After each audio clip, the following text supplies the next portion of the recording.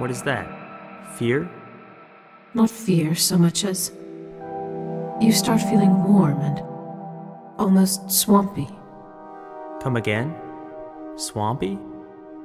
I don't know how to describe it. You feel something strange, like a droning, but it's not a sound, more like a sensation.